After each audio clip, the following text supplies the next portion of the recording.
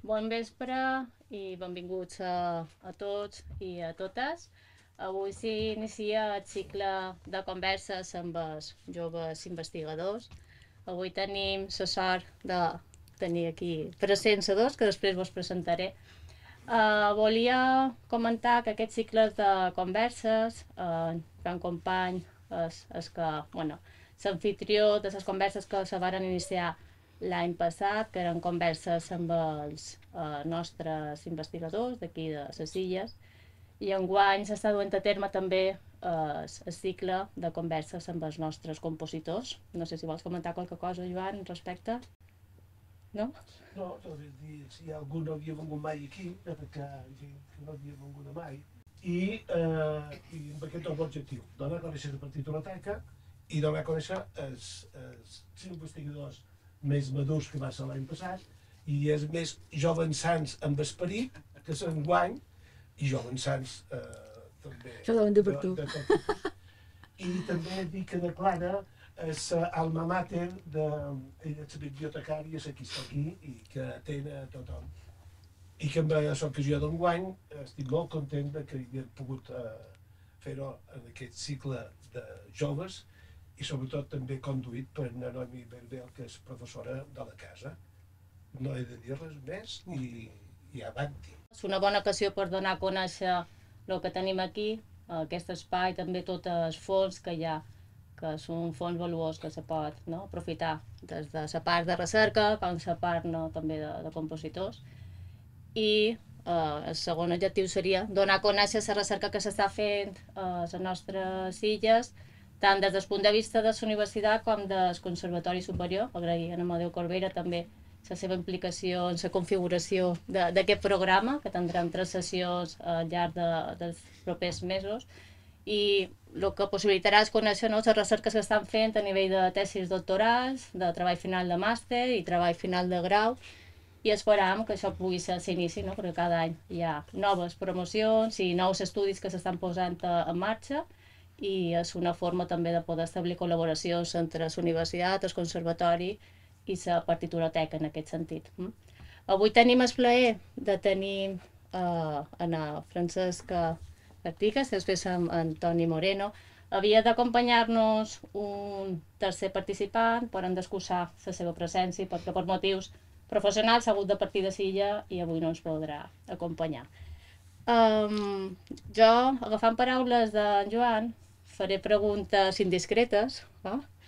i també dintre de la formalitat, però la informalitat, com ell diu, convidar-vos a que qualsevol moment, preguntes, dubtes, estem aquí per fer una conversa i en tota confiança podem anar participant i construir un poc uh, aquest diàleg, no? que és per aquí que, per lo que estem. Ana Francesca uh, avui ens parlarà sobre una recerca que du per títol L'arpa i la lira a Mallorca, iconografia, simbolisme i relació a la poesia de Costa i Llobera, eh, que és un treball interdisciplinar, que després ens contarà, i Antoni... I Joan eh, Alcobé. Uh, sí, en Joan Alcobé.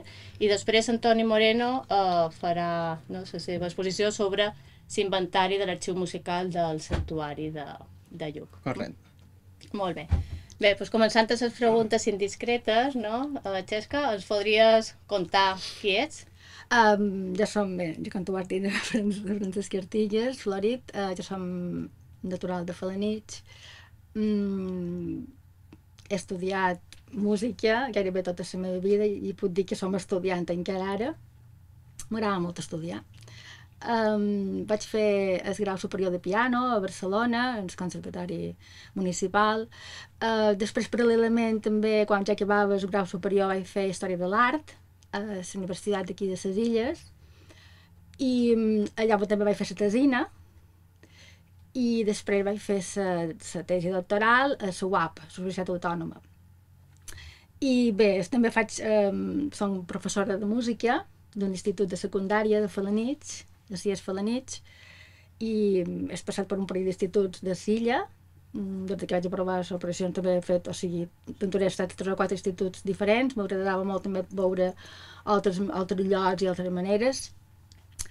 I mm, a part d'això, paral·lelament, i m'agrada molt la música també moderna, m'agrada jazz.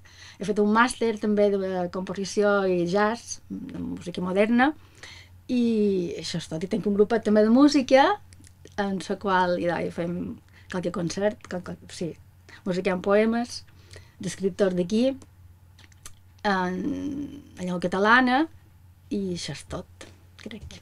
T'anava a demanar que per què havia fet una tesi doctoral, però jo crec que només el que has explicat ja sabeu que ets una persona molt inquieta que t'agrada anar fent Sí, sí, sobretot quan vaig acabar eh, això, o sigui, la part de, de música i d'art, vaig trobar que havia de fer una cosa que havia de seguir estudiant de qualque manera i una bona manera és relacionar les dues branques, eh, música i art, i per això vaig fer aquesta tesi.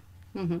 Que després se va ampliar a altres, a altres àmbits, però que ja, ja ho veurem en pintura que aquesta tesi fa molt poquet que Sí, sí, aquesta tesi ja no? està, sí, fa novembre. Novembre de, de l'any passat, Sí, no? de l'any passat. Clar, doncs, recent sortida de, de sí, fons, no? Sí, sí, Molt bé. I tu, Toni? Bé, jo sóc en Toni i primer de tot voldria donar les gràcies per haver-me convidat a participar aquí.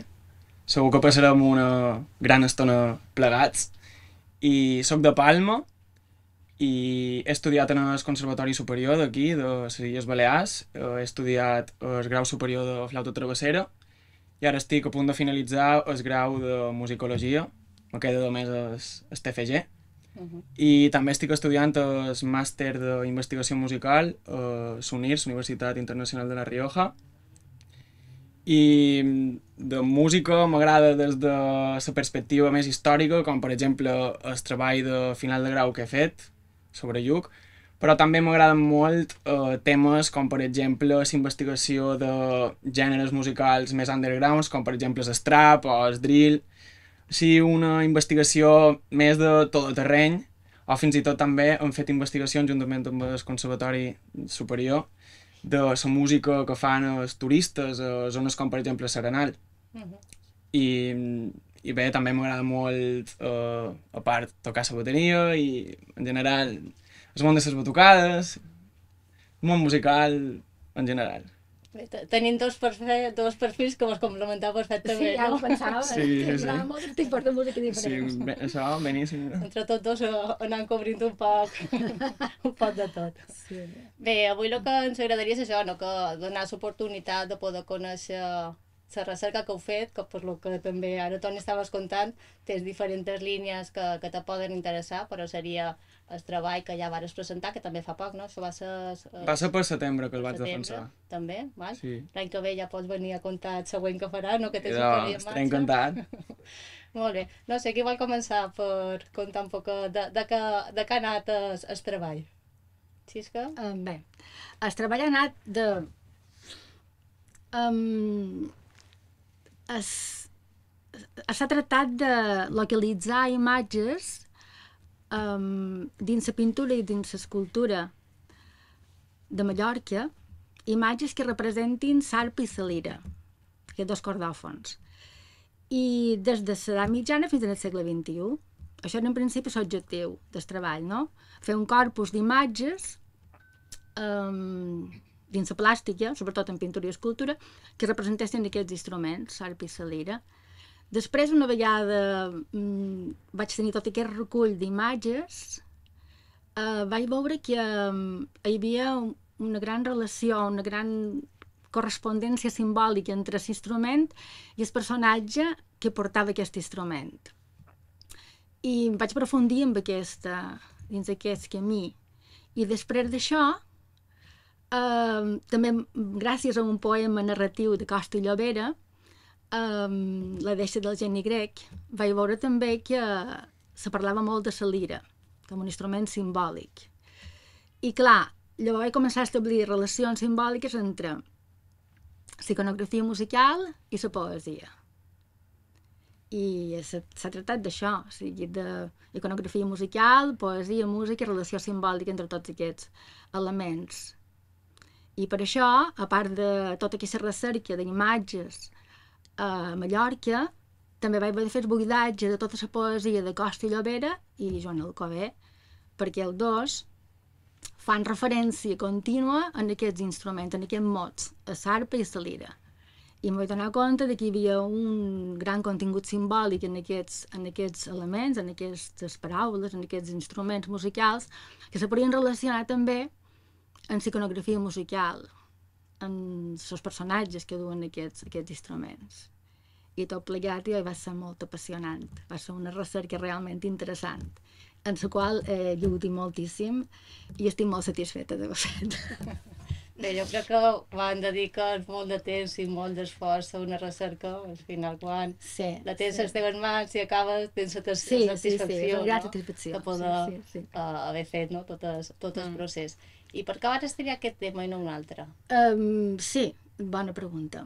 Uh, perquè Sarpa i Salira, sobretot Sarpa, vaig començar en Sarpa primer de tot, i gràcies a sa, en aquell llibre de la imatge de la música a les Illes Balears d'en Xavier Carbonell, um, vaig recollir, vaig, vaig fixar que Sarpa um, era, era, era molt freqüent en totes les èpoques.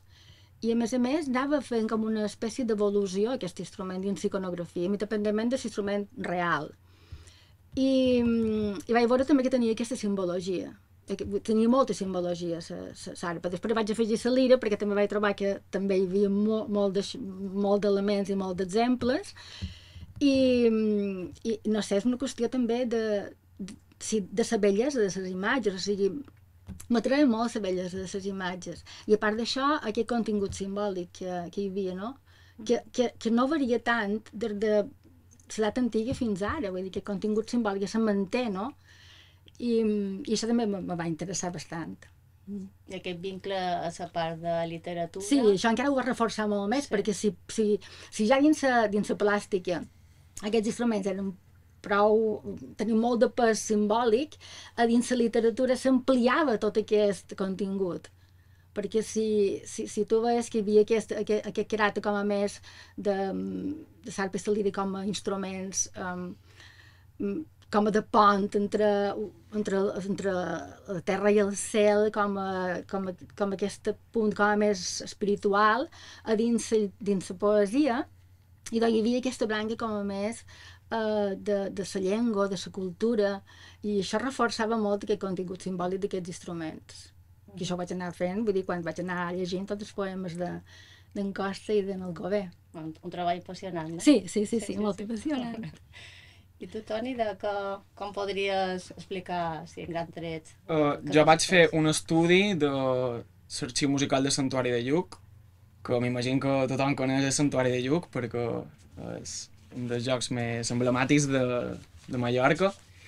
I sobretot me vaig centrar en la música de la segona meitat del segle XIX fins avui en dia, perquè tota aquesta música estava dins d'una part de l'arxiu que estava completament desordenada, a cases com, aquest, com aquestes que tenim aquí darrere, i jo el que vaig fer va ser classificar-les, ordenar-les i fer un inventari de, de totes aquestes, aquestes obres, perquè una de les problemàtiques que tenim actualment eh, a Mallorca és que comptam amb molts d'arxius, però que no sabem ben bé quin material contenen.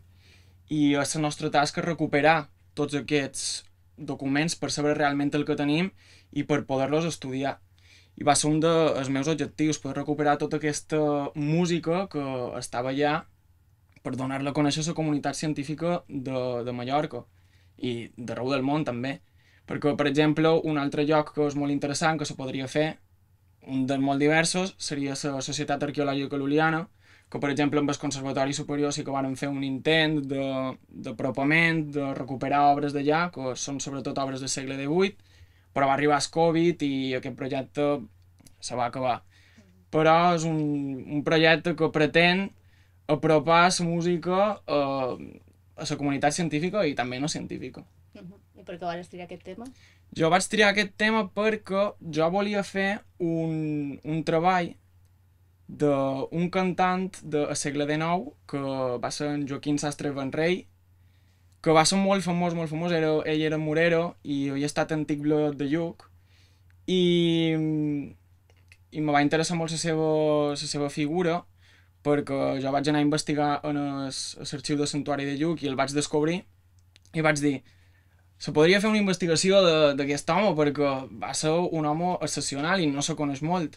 Va cantar uh, per Rússia i va acabar en el Hawaii, que va muntar una escola de música, crec. Però vaig investigar i vaig veure que ja s'havia fet una investigació de- de- d'aquesta temàtica i vaig haver de canviar de, de proposta perquè ja s'havia fet. I a més una alumna del conservatori ja ho havia fet i vaig haver de canviar.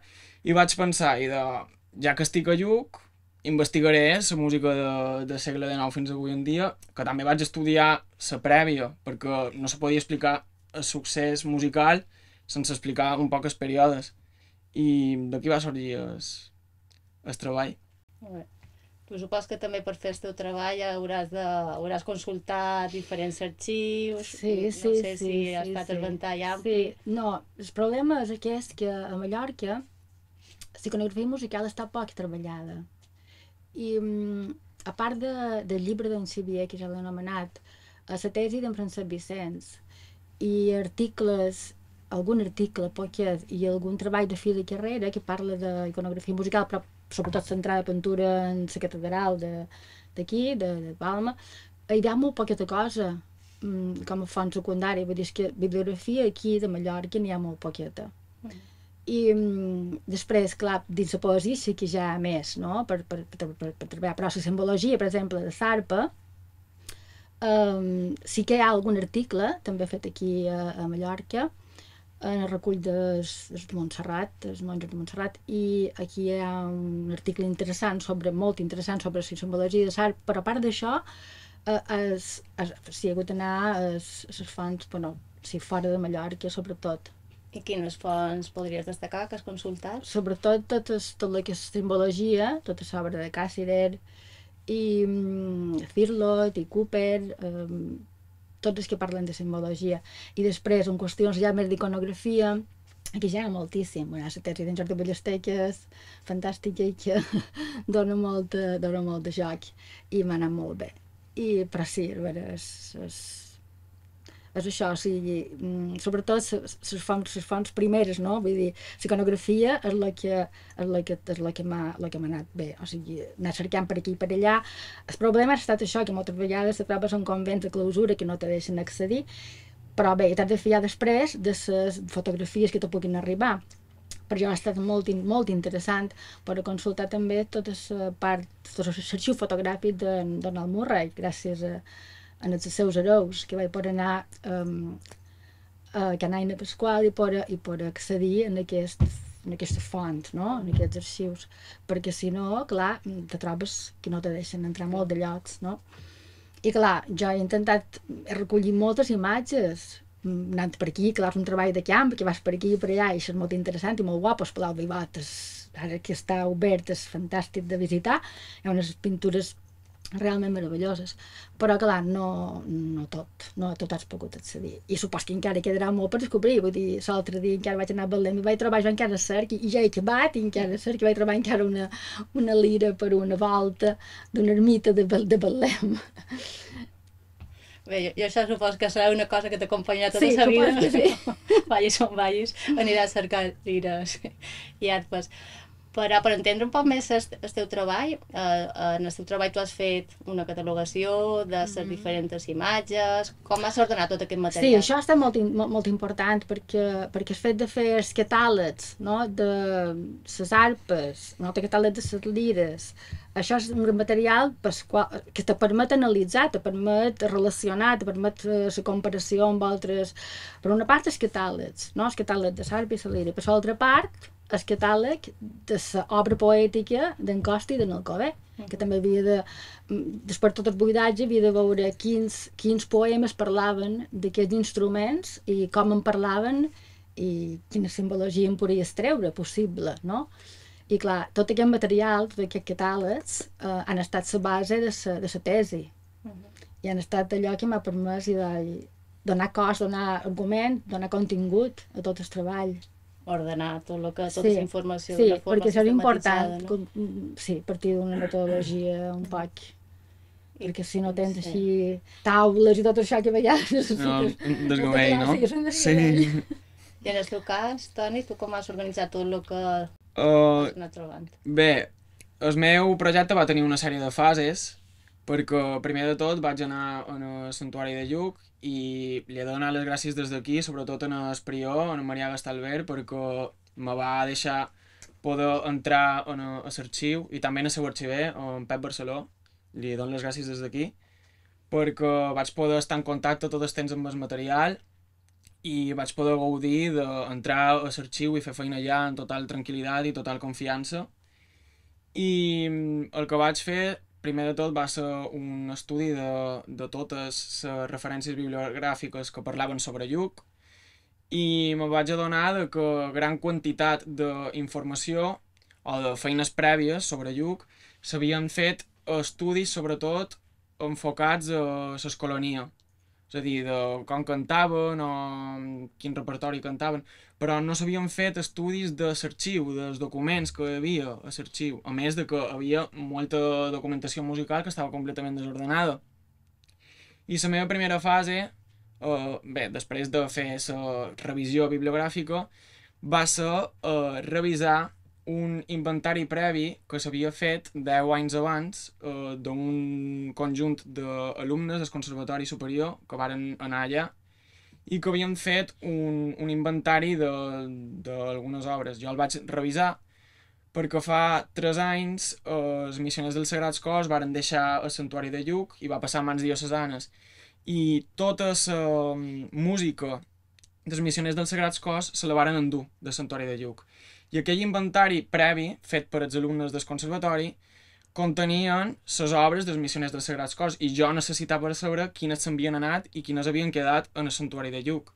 I jo vaig revisar aquest inventari i a partir d'aquest inventari eh, vaig començar a ordenar totes les partitures que havia desordenades, vaig juntar les particel·les, perquè potser hi havia una particel·la, una catxa i una altra, hi havia una taula immensa plena de, de, de papers, m'imagino que potser també te va passar si havies de fer sa, una catalogació. Sí, I, i després eh, tot això ho vaig eh, ordenar de forma alfabètica per, per els ginatges dels compositors i vaig posar una sèrie d'informació o una taula perquè després la gent que ho volgués consultar no tingués tant de problemes.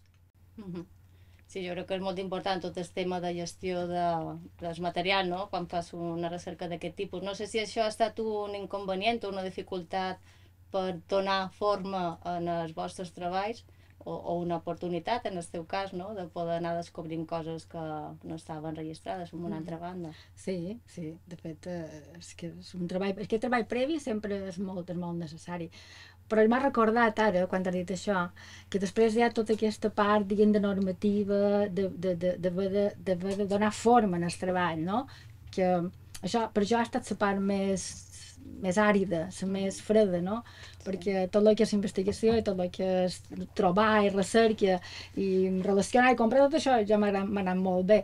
Però la part aquesta de, de, de, de aquests espais i aquestes cometes i seguir aquesta normativa i seguir aquesta... Això a mi m'ha costat molt, molt. Sí, sobretot quan se fa un treball científic, no? que, sí, que ha de passar sí, sí, una valoració. Sí. I més com que és meu, el passava un diferent, vull dir, molt més volat, o sigui, més, més volat en el sentit de que uh, sí, és científic perquè no queda més remei que ho sigui, no? però vull dir, el tema és, és poc concret a vegades, és, és poc... Vull dir que pot divagar bastant, no? Dins aquest tema de la poesia, l'art, tot això, en canvi, partitures, coses molt concretes, són així, no? Més complicat a acotar, no?, segons quines sí. coses. Jo crec que aquí també està el paper dels directors, no?, que, mm. que són clau a l'hora mm. d'assessorar, sí, sí, sí, fer la sí, feina sí, que havies comentat, no?, en Jordi Ballester, i sí, i Antoni Pissà. Antoni sí, Pissà, que han estat sí. els teus directors, sí, no? Sí, sí, sí, tots dos m'han ajudat moltíssim. En Jordi Ballester, des del començament, perquè jo que la va, quan fer, vaig fer la tesi fa bastant, la tesina fa bastant d'anys, ell ja em va ajudar molt. Jo vaig estar bastant d'anys, molt d'anys, sense fer res. I quan vaig tornar a partir, els vaig fer tots dos, i, i sí que me van ajudar molt. I clar, quan te'n comences a anar és quan te'ls diuen, mem, no, però això aquí i tal. I, i en Toni, que és molt rigorós en la qüestió aquesta més tècnica, més formal, i de, ai, uf, sí que és un poc pesat això. Sí. Ja, bueno, en Toni Pissà va, va venir no, l'any passat a fer unes converses no? de- d'investigadors. I en el teu cas supos que també, no? La figura des... Sí, tant. Uh, jo, en el meu cas, de director, vaig tenir en Diego León, que és professor del Conservatori Superior, i és professor del Departament de Musicologia, i uh, jo el podia triar, i el vaig triar sobretot perquè ell és especialista en arxivística i és el que me podia orientar més, i la veritat que me va ajudar molt, tant a l'hora de, d'inventariar els documents, com també la relació dels documents en l'Iglésia, perquè ell en sap molt, uh, la seva tesi també està relacionada amb contingut religiós i me va saber guiar en tot moment, Toni has d'anar per aquí, Toni has d'anar per allà, a lo millor podries fer més lo típic, no? Això a lo millor no t'agrada tant, no li agrada tant al director i te diu, no, has d'anar per aquí. I la veritat que en tot moment me vaig sentir recolzat i, i m'anava bastant bé. Bueno, això anima a continuar fent Sí. coses. Exacte. Al final també que me deia, me deia, no, però ara al final encara pot trobar qualque cosa més de la conclusió, encara pot concloure, encara pot trobar... I jo, ja estic exprimidíssima, ara ja no puc més. Sí. No puc, pues, no, no, vinga, fes això. I al final encara vaig trobar qualque cosa que encara me va, sí, me vaig acabar, vaig acabar de redonir tot, Sí. No? Però... Les correccions són bones, però a la vegada te desmotiven molt, perquè tu envies allà uh, el teu document i, te, i te'l tornen allà tot ple de vermell i tu dius... "Ah, Quina... Sí, sí, sí. Bueno, això segur que qui vos escolti que ha de fer un treball se sentirà, no? Sí, sí, sí, és, és, és motivador perquè, has de, perquè estàs fent bona feina i saps que li pots treure més punta, però a la vegada penses, buah, sí que he de canviar coses, és com, quan, com si ho haguessis de tornar a refer, però t'ajuda a créixer i a continuar. Sí, jo precisament ara que dius eh, eh, estem en desconfinament, me va anar molt bé perquè vaig tenir molt de temps per fer, per fer feina. Vull dir que a vegades, clar, com que això requereix unes hores i que requereix un treball d'una disciplina i una constància, el fet de no poder fer res més, eh, no sortir i tot això, i de, a mi me va, me va anar bé perquè em vaig adelantar molt amb això. Bueno, qualque cosa bona va Sí, tenir, no? qualque Estar cosa en casa a casa. Però, i de lo que tu deies, no? De, vinga, a veure si traiem qualque resultat més. Com podries, si també contar un poc els resultats, no? Aquesta vinculació en la part no? de psicografia, però també Psicografia, sí, en la part sí. de la literatura. Sí, això va ser un dels, final, un dels treballs finals, perquè quan estava així pensant a veure en la relació simbòlica i no de tot això, pensava eh, en, el, en el final me n'adono de que, de que, de que tant, tant Joan Alcover com Costa i Llobera a part de sa, de, de, de sa reivindicació total de, de, de, de, de, de, la llengua catalana, de, de, de fer tant, tant per la cultura. I en, el, en el final també eh, va ser que tots dos eh, van sintetitzar eh, a través de, de la poesia i, i sobretot a través de què és, de, vull dir, de Sarvi i Salira, que són dues paraules, tot el que és la tradició, les dues grans tradicions i cultures que ens envolten nosaltres, que és la cristiana i la, i la clàssica, de qualque manera, no? Eh, la cristiana a través, i d'oi també, de, com veiem iconografia, a través dels àngels, del rei David, de Santa Cecília, i, i la clàssica a través d'Orfeu, i Apolo, i Nuredduna, i les muses, no? Vull dir que va ser com una espècie de final de trobar una síntesi brutal d'aquesta aportació no? de les grans tradicions que, que, que mos han envoltat a nosaltres com a societat que és la tradició cristiana i la tradició clàssica, no? I a través del dos, i, de, i a través de, de, de, dels seus poemes i, i d'aquests dos, dues, dos instruments, i de, eh, no sé, vaig trobar que era que, valia la, que havia valgut molt la pena. Que al final s'anava tirant de, dels fills Sí, i, anar, sí, sí, sí, sí. i anar mesclant Mm. per, per trobar... No sé si qualcú vol fer qualque intervenció o qualque pregunta. Toni, tu has parlat del Sagrat Cos. Eh, varen, és a dir, el material que hi havia lloc el se'n varen dur Sí, correcte. i de què ha quedat allà. Allà, bé, uh, quan els missioners dels Sagrats Cos se'n van anar de Lluc, se'n van endur tot el que era de la, de la congregació. És a dir, totes les obres que varen ser fetes per congregants, per exemple, el pare Palau, uh, el pare Rafael Joan, uh, Miquel Ollés, tots aquests, aquestes obres ara mateix no estan en el santuari.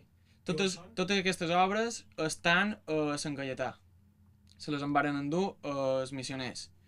Què passa? Que eh, el que he dit abans, anteriorment, havia aquest inventari previ, jo vaig haver de revisar-lo perquè moltes d'aquestes obres constaven que estaven allà però s'ho havien enduit i jo vaig haver d'eliminar que estaven allà de dins. I s'haurien de recuperar, s'haurien de recuperar perquè o al manco que hi hagués una còpia en el santuari perquè és patrimoni de, del santuari de Lluc.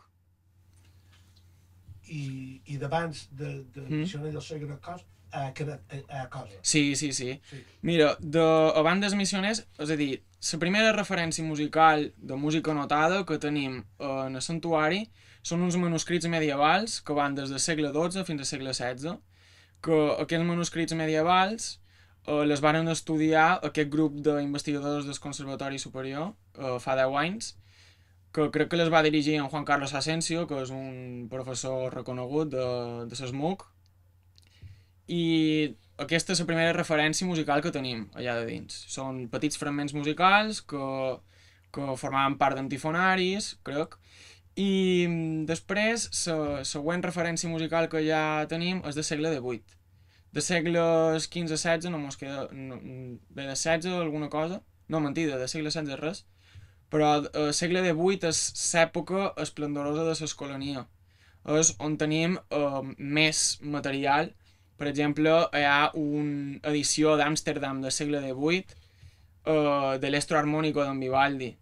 Uh, hi ha també molta música de, bé, de compositors mallorquins. Uh, també hi ha tractats de, per exemple, flauta o de guitarra, però això és més del segle XIX, crec. Sí, crec recordar, sí, del segle XIX. I bé, també hi ha moltes misses, gojos, música religiosa, alguna partitura d'orgue i així un poc. Això previ a lo de la música del segle XIX. Del segle XIX ja hi ha altres coses que aniré explicant. I la pregunta per tu, eh, si és que, um, arpa i lira, només poèticament parlant, literàriament parlant, o eh, llevat dels quatre anys dels músics eh, no has més.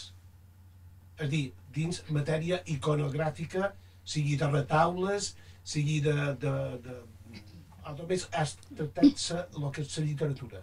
No, no, no.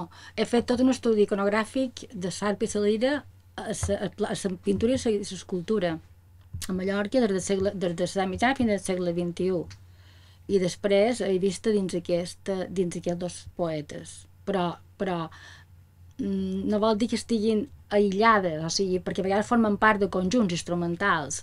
Vull dir, sobretot quan ha àngel músics eh, voltant de la Mare de Déu, eh, en les retaules, hi ha, hi ha bastant d'instruments. I, mm, i Sarp i Salira, i els abous, la pintura, l'escultura, que també m'he fet, ser, també fet servir altres tècniques, vull dir, xilografies, eh, gravats, més que res un poc per argumentar i i perquè fos més complet tot, per qüestió, per qüestió de comparació. Però m'he volgut centrar més en aquestes dues disciplines perquè si no era, me perdia, hi, havia, hi ha moltíssimes, hi ha ceràmica, hi ha, hi ha molta cosa que, que representa, que llavors se representen aquests instruments. Vull dir, jo he fet iconografia musical, o sigui, dins la plàstica, la pintura i l'escultura, i després dins la poesia d'en Alcobé i d'en Costa. Només això. Molt bé, gràcies. A en, tu. el, en el seu treball està documentat amb imatges, no? Els Sí, textos fan sí, sí, jo referència. aquí havia duit les imatges per si cas qualcú volia veure Sí. imatges també. Uh -huh. uh, N'he duites per si qualcú tenia interès en veure-les. Però sí, sí. És molt guapo el treball perquè hi ha moltes, moltes, moltes imatges. Hi ha molta fotografia. Perquè clar, la iconografia musical, l'art de veure, l'art de... és visual. I destacaries qualcuna? Uh, sí, en destacaria una especialment que me va impressionar bastant, va ser quan vam anar al Palau Vivot, que, que vaig trobar per casualitat també, perquè tampoc no, no sabia que allà hi hagués, aquesta imatge. És una pintureta petita uh, d'en Salvador Torres, que és un pintor del segle XIX i que, i que representa Orfeu, Orfeu en Salira. Però és tan, tan... és una pintura és, no és molt grossa, però és molt evocadora. A més, la lira està molt ben treballada, amb molt de detalls, i, i va ser una gran troballa, sí, aquesta. De fet, crec que la vaig posar a la portada de la tesi, perquè de tant que m'agradava aquesta imatge, sí. És com un, un regal, no?, que vas trobar. Sí, va ser sí. allò que no, no esperava trobar-la, perquè sí, sí. En el llibre d'en de Xavier eh, aquesta no era aquesta imatge. Uh -huh. I clar, me va, me va, venir, de, me va venir de nou trobar-la allà. Sí, és molt guapo. I Toni, tu, que ara anaves a comentar, no?, de, de lo que has trobat a partir de segles que tu has estudiat en profunditat, que destacaries? Sí, uh, l'inventari que jo vaig fer com he dit anteriorment, va de la música de mitjan del segle XIX fins avui en dia perquè estava desordenada i quan vaig fer aquest inventari me vaig adonar de que un 79% de música era religiosa, un 16% era de caràcter profà i un 5% era instrumental. El que passa és que molta d'aquesta música religiosa estava relacionada amb el moviment sicilià, que el moviment sicilià eh, va guanyar moltíssima força a finals del segle XIX, que va ser quan l'Iglesi va decidir substituir eh, totes aquelles misses amb grans orquestes, amb l'estil italianitzant, i ho varen, ho varen substituir per la recuperació del cant gregorià i per la recuperació de la polifonia clàssica. I a partir d'aquí també, eh, amb el motu propi de 1903 del papa Pius X, eh, se va impulsar aquest nou moviment del motu propi i molts de compositors varen composar varen començar a, composar com, per exemple, Palestrina o com Tomàs Luis de Victoria en el segle XX, com seria en Perossi, um, en, en Luigi Botazzo, en Refice, o aquests compositors. I jo també vaig descobrir que en el Santuari de Lluc eh, ells estaven subscrits a revistes, com per exemple Tesoro Sacro Musical, El Salterio Hispano, que eren revistes que mm, estaven relacionades amb el moviment sicilià. Eren revistes que, eh, per exemple, a una de les seves publicacions, eh, publicaven una obra de Palestrina o publicaven una obra d'en Perossi, d'aquests compositors del moviment sicilià, i en el Santuari de Lluc el que feien era subscribir-se en aquestes revistes per poder fer uh, còpies de particel·les i després poder-ho cantar. I a l'inventari que jo vaig fer hi ha una gran quantitat de música de Palestrina, Tomàs Luis de Victoria, uh, Orlando Di Lasso... Bé, Orlando Di Lasso ja seria més, més profà, però um, d'aquests compositors i um, perquè ells el que feien era copiar per tenir les partitxeles després i que els blauers ho poguessin cantar.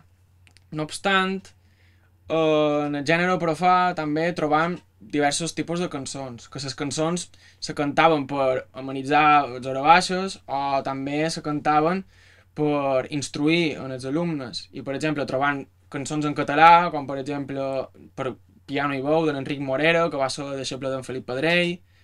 També trobam cançons en castellà procedents de l'Argentina, que va ser eh, el pare Rafael Joan, que va ser un missioner del Sagrat Cos, que va dur tota aquesta música d'un compositor anomenat Atahualpa Yupanqui, la va dur en el, eh, a Lluc, perquè ell va estar 30 anys a l'Argentina destinat, o 20 anys allà.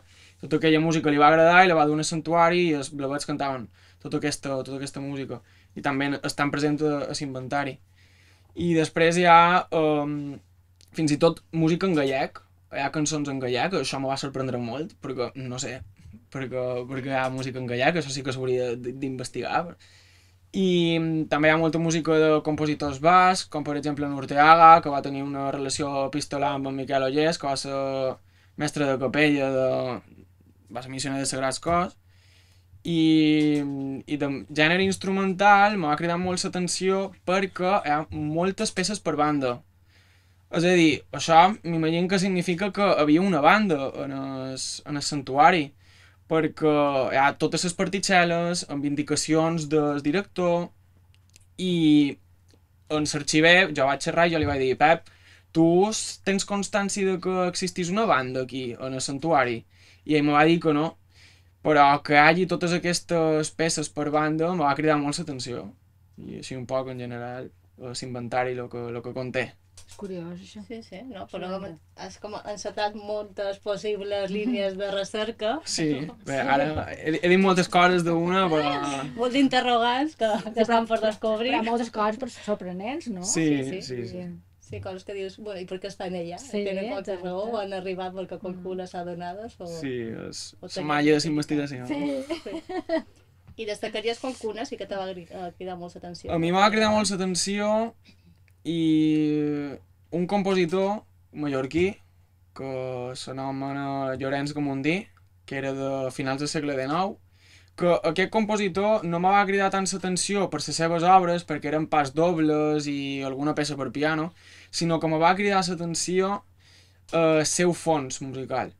Perquè era, va ser mestre de capella, això està documentat, eh, a la meitat del segle XIX, i en el seu fons musical podien trobar mm, peces com per exemple les set paraules de Haydn, eh, peces de cert nivell eh, de, de dificultat. Això significava que probablement eh, l'escolania devia haver un ni cert nivell en aquella època, perquè interpretar aquestes obres mm, segur que eren un repte.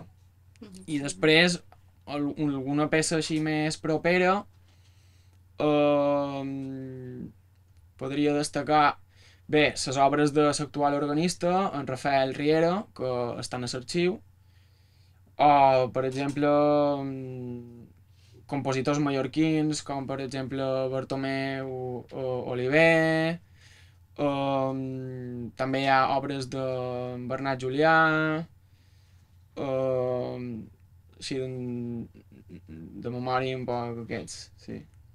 Tot aquest fons està obert perquè Sí, pugui pot anar a allà. consultar, o sigui, qui vulgui anar a consultar s'ha de posar en contacte amb el Santuari de Lluc, amb el seu arxiver, amb el Pep Barceló, i està obert a, a els investigadors i investigadores que vulguin descobrir tota aquesta feina. Aquí supos que una gran feina qualsevol, no? partituroteca o arxiu de digitalitzar tot això per poder... Sí, sí, aquí ja sí que hauria més feina, Sí. Però, a més, de la feina que vaig fer, l'inventari, uh, diríem que és un inventari que va a cavall un poc entre uh, un catàleg, perquè en el meu inventari jo com a dono molta informació, però jo crec, i també ho vaig xerrar amb el meu director de treball de final de carrera, que era necessari tota aquesta informació, perquè així quan algú vulgui anar a investigar tingui bastanta, bastanta informació. És vera que una catalogació implica donar molta informació ja, però ho, va, ho varen considerar d'aquesta forma. Si és necessària tota la part de contextualització. doncs Sí, a, després- a part de tot això també. I després d'haver fet aquest treball, te vas quedar amb ganes de continuar fent qualque cosa més relacionada amb Uh, aquest tema? a, mem, a mi m'ha agradat molt fer aquest treball, però vaig estar un any i mig ordenant partitures que una a lo millor estava per allà i una altra a lo millor estava per allà davall i la sala on jo vaig fer feina era més gran que aquesta, que aquesta sala i, sense exagerar, eh, d'aquí fins al final era una taula, com d'aquí allà, plena de, de, de partitures que vaig haver d'ordenar. Vaig tornar bastant loco. Va ser molt guapo, però va ser molt, molt, molt, molt pesat. Molt pesat. Molta feina, això. Molt pesat. I per això també he de donar les gràcies eh, al Santuari de Lluc, perquè vaig poder estar allà totes les hores que, que necessitava. Mhm. Sí, supos que... I no te va agafar en el Covid, no? Ja era post No, no, no. Si m'hagués agafat en el Covid no hagués pogut fer aquest treball. No, no, no. no. No, vaig, vaig tenir sort, la veritat. Jo crec que hi ha molt de material no, que tu comentaves per futures, recerques... Sí, sí, sí. Jo me vaig sentar... Mem, en el meu treball sí que faig menció a, a períodes anteriors, en el segle XIX i fins avui en dia. Però, mm, per exemple, hi ha molt de villensecs de, del segle XVIII, aquí també se podria fer una investigació dels villensecs a Lluc, amb això també m'ha cridat molt l'atenció, però això ja estava inventariat anteriorment, jo això no ho vaig inventariar. Però sí que ho tracto en el meu, en el meu treball, sí que, sí que ho esment. I també eh, se podria fer un estudi d'algun compositor d'allà... Sí, hi ha moltes opcions. Bé, jo crec sobretot aquest tipus de treballs, tant els que heu fet tots dos, no? pot servir la base per després un altre que vulgui continuar per tenir ja la feina bueno, de, de base ordenada per poder Sí, no? sí, sí. començar a aprofundir en temes més, més concrets. I en, I en el teu cas, eh, veus qualque línia futura que penses que podria ser interessant a partir de la feina que tu has feta? Jo crec que la feina que, que se podria fer és amb altres instruments. Uh Mhm. -huh. o sigui, perquè clar, que està, n'hi ha molts. I molts que també han anat evolucionant. Vull dir, l'orgue portatiu, per exemple, és una orgueta així de l'edat mitjana que, que, que, que, que ara ja no existeix aquest orgue portatiu. Sí.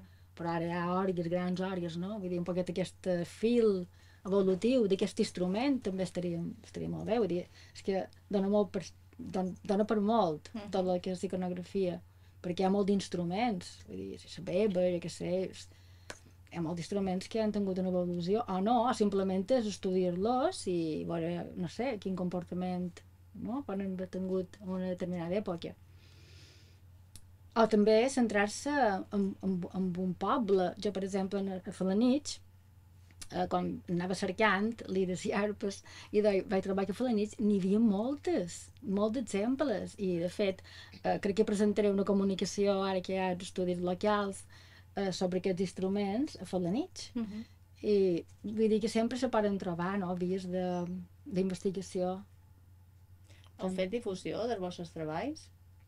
Uh, jo la primera vegada avui Sí. que estic xerrant d'ell en, en públic la meva intenció és que en un futur se pugui, se pugui publicar perquè la veritat que vaig quedar bastant content amb el resultat però hauria de revisar-lo, hauria de canviar algunes coses i ara mateix estic ficat en altres investigacions però tant de bo se pogués publicar Bé, està, està obert no? està obert per fer-ho.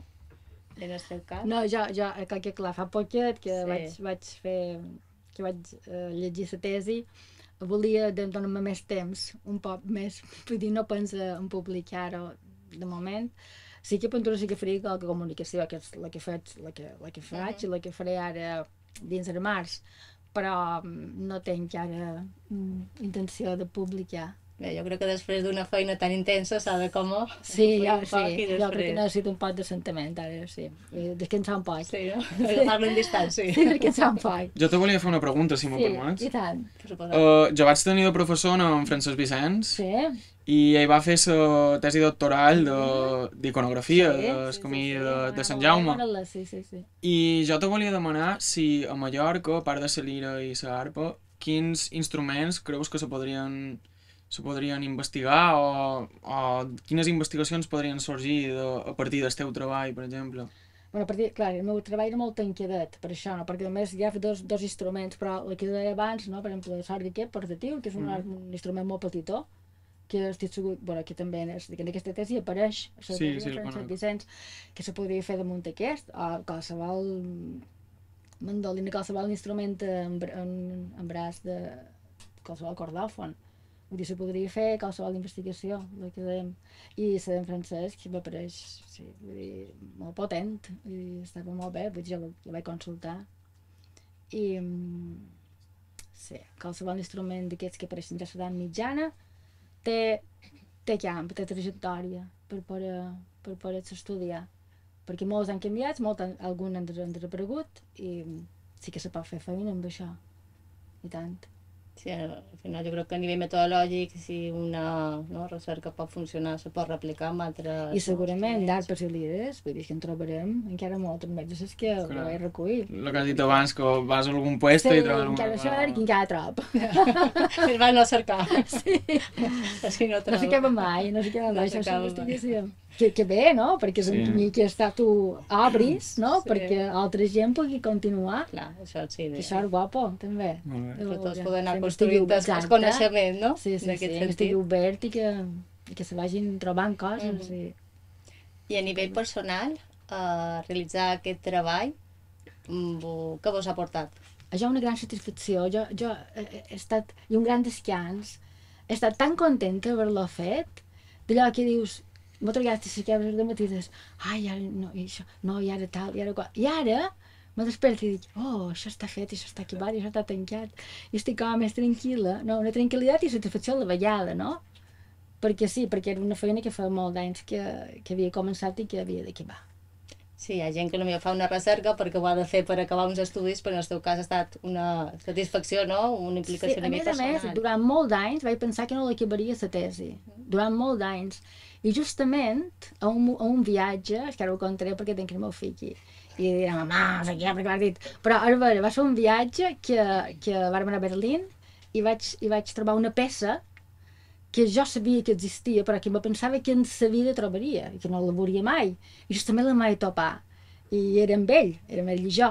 I que quan, quan la vaig veure en Jaume, el meu fill, quan la vaig veure vaig dir, ah, bé, fer fotos, fem fotos. Clar, jo, no sé, no sé, jo, jo vaig, en aquell moment vaig pensar, això m'ha motivat a, a, continuar. M'ha dit, dit qualque cosa aquesta troballa, no? De, perquè jo pensava, no ho trobaré, no ho trobaré mai. I trobar-la va ser, va ser com a bastant definitiu. Vaig dir, no, no, eh, és que vaig dir que va.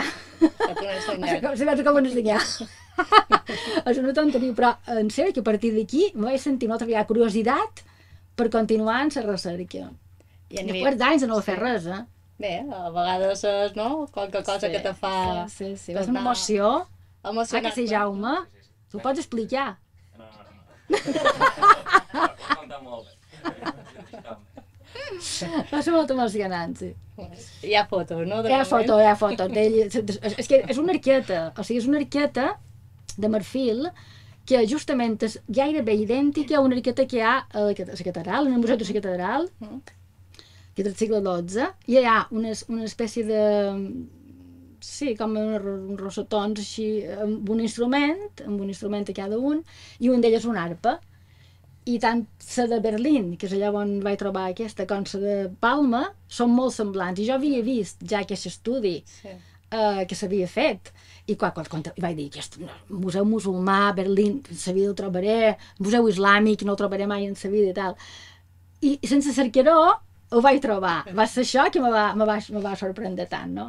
Després d'anys de, no, de, de pensar que no la acabaria la tesi. No. I això va ser un revulsiu. Bé. I a nivell professional, que tu ets professora, Sí, però això a nivell professional no... mm, Jo no, no afectarà ni en el meu sou, ni en el meu... ni, eh, eh, sí, o sigui, afectaria si jo ara volgués canviar d'institut. Per exemple, em donaria tres punts. sí. Però jo ja no vull canviar d'institut, vull dir, jo ja, ja, ja me quedo en el meu i ja, ja me jubilaré. Això supos que t'haurà portat qualque cosa, no? A nivell de docència i de...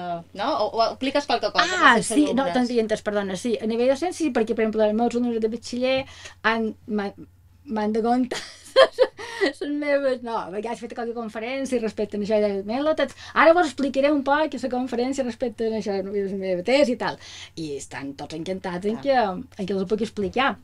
I de fet, és una manera també de conèixer instruments Sí. eh, de la plàstica, vull Sí, dir sí, que sí. els també... Poder-lo enllaçar, no? De forma Sí, i no, els agrada després quan els expliqui aquestes coses. No, sobretot quan una persona ha fet la feina i te conta de primera persona, al final... I llavors es les imatges que els veuen i això, sí. Però, clar, com que és una cosa d'iconografia musical i és com a més està més lligat a, art, i jo faig música, Mm.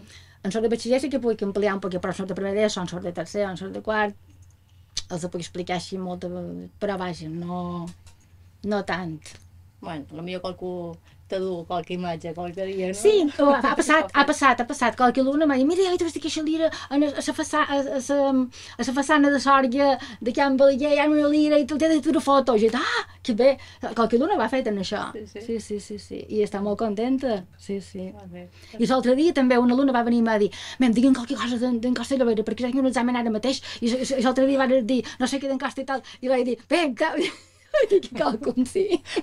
Encara m'ha anat bé. Però vaja, sí, és com molt bé. residual.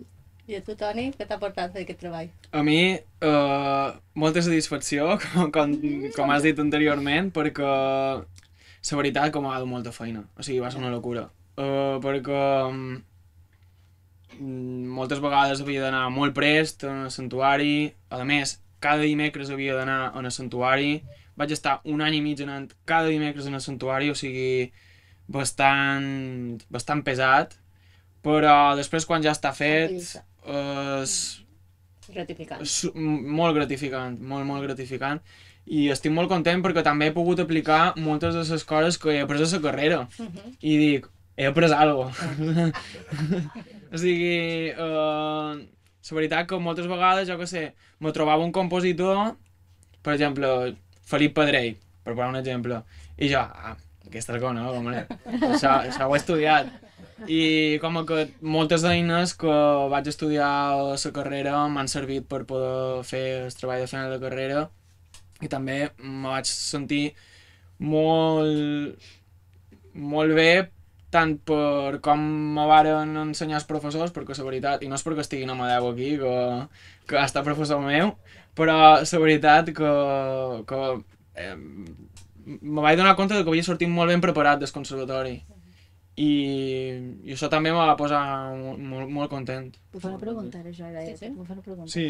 Uh, ara, que has fet el treball de fi de carrera, uh, voldràs fer la tesi i si la fas, la faràs relacionada amb això o, o ja tens un camí o una idea diferent?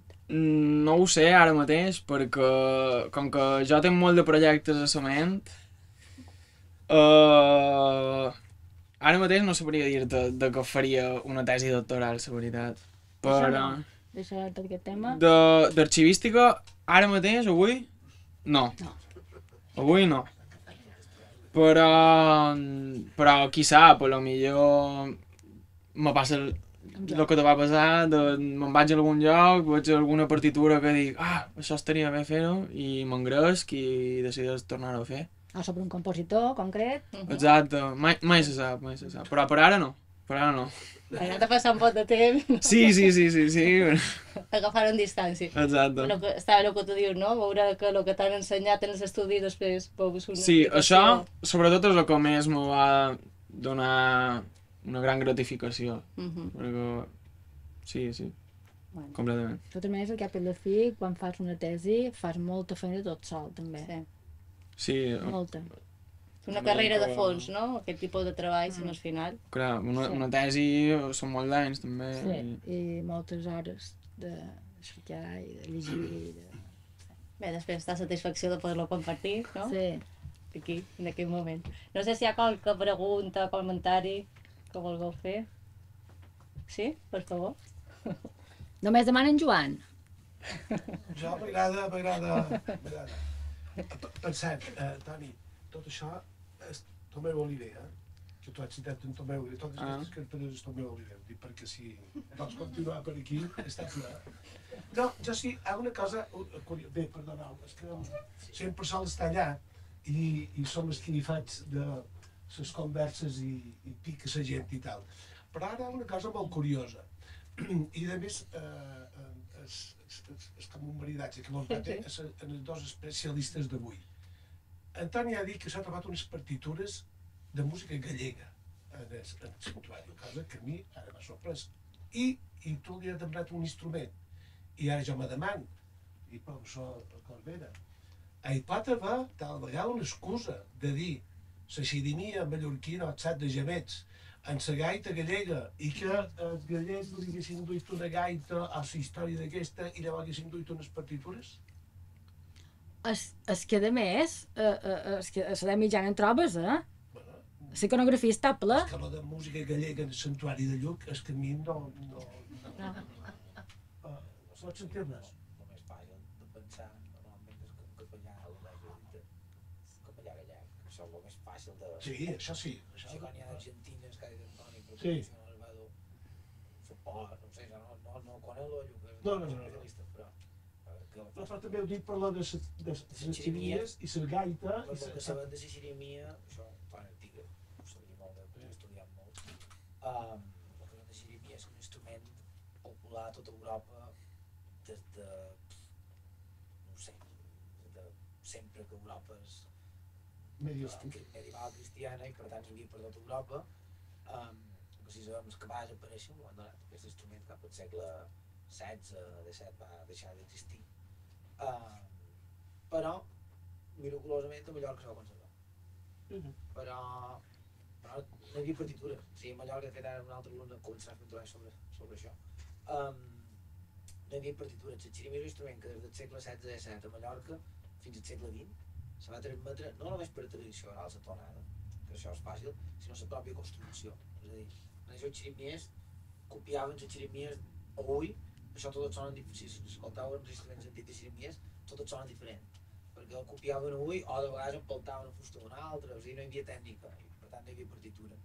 És quasi impossible que, que, que hi hagués un intercanvi de materials en aquest sentit, de, de gaita i xirimies. I, Que no- i la gaita gallega al final és un instrument molt nou. És revival nacionalista del segle XIX, com, gaita escocesa, com la gaita anglesa, com la gaita, com l'arpa irlandesa, que, que és un invent del segle XIX també. Eh, només a Mallorca se va conservar. Mm, ja, És allà incògnita, no se sap. Ja. S'haurà de descobrir. Sobre, sobre les peces aquestes gallegues de santuari, concretament són per veu i piano. O sigui, Idioma? en gallec. En gallec. Uh, això deu ser de, durant el segle XX. Són cançons populars. Són cançons populars gallegues. Una se, ara me'n record, una se diu Os teus ollos, jo no sé pronunciar gallec, però Os teus ollos se diu. I, per exemple, a, aquestes peces, és que també he, he comentat abans el pare Rafael Joan, que el pare Rafael Joan va ser missioner dels Sagrats Cors, i va ser arxiver del Santuari de Lluc durant 30 anys. I el pare Rafael Joan el que feia molt també era copiar moltes partitures i fer moltes partitxeles. I crec recordar que les peces, com per exemple aquesta que acabo de, de comentar, eh, estava copiada per el pare Rafael Joan, o sigui, perquè tenia la seva, la seva lletra. Eh, moltes també estan firmades amb, eh, amb el seu nom, però R. Juan. I mm, no sé, potser també això formava part de la seva, del seu arxiu personal. Aquí ja sí que seria una investigació, que jo per ara no la faré. Tot de ser relleu un altre, no? Sí, sí. Estàs a convidada. Oi, que qüestió més? No? Ho deixem aquí? Sí? Bé, per part meva ha estat un plaer poder compartir aquesta conversa amb vosaltres. Jo crec que... moltíssimes gràcies. Emanuel, No, per vosaltres- convidar-me. Moltes gràcies per ser convidada. I moltes gràcies per també la vostra assistència. Gràcies. Gràcies per venir. I jo crec que al final no, aquest tipus de, de, de xerrades posen en valor la feina que esteu fent i també conviden a altres no, a poder continuar a partir de la feina que, que vosaltres uh, heu fet, no? I animar-vos a continuar d'aquí un temps prudent. Moltes gràcies, ha estat un plaer Sí. compartir amb vosaltres aquest temps. Bueno, moltes gràcies també a tots els assistents. Vos convidam a la següent conversa, que serà el dimecres 22 de març. I en aquest cas tindrem quatre convidats, que són la Cristina Llabrés, que xerrarà sobre corals infantils, un poc estat de la qüestió i a nivell metodològic, en Pedro Jesús López, que xerrarà de l'escena drag queen a Mallorca en el context turístic, na Sílvia Reixart, l'escena pop-rock en català actual a Mallorca, i na Marga Roger, dones i cançons a Mancó de la Vall. No? Estarà un poc Molt per la part de cant, però hi ha una varietat que ja veurem, no? Si s'aguant també aquest maridatge que han tingut avui aquí. Eh? Molt bueno, interessant. moltes gràcies a tots i bona nit. Gràcies.